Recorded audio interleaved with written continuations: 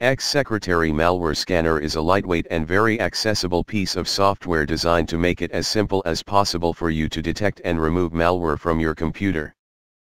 Just as long as Visual C++ 2017 runtime and .NET framework are present on your computer's system, you should be able to launch X-Sec Malware Scanner without major issues.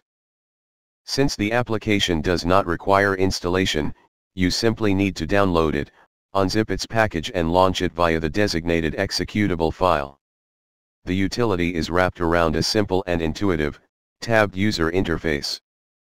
There are four main and self-explanatory categories, namely Scan, Update, Toolbox, and Settings. Regardless of you being a novice or a more advanced user, you are bound to find that working with X-Sec Malware Scanner is not at all difficult.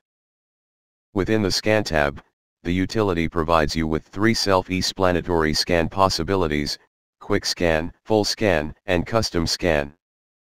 From here, we will jump right at the last main tab dubbed Toolbox where you are presented with a comprehensive activity log, as well as with the possibility of viewing the quarantined elements and that of creating a trust list, whitelist. The Settings tab is by far the bulkiest section, as it provides you with a wide array of options for tweaking the app's general behavior. Apart from the basic available localization options, you're also present with the possibility of enabling or disabling the logs, the heuristic, and the cloud engine, as well as the backup of files to quarantine before removal. You can also set the default action for when a thread is found, scan only, ask user, or remove automatically. All in all X-SEC Malware Scanner is a simple tool that can help you locate and remove malware from your computer. See you next video and now some music.